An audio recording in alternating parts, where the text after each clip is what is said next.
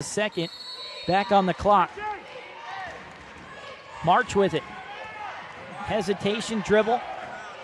Over to Pranger. Three, two, one. Drive. She got it. The buzzer beater from Laura Pranger.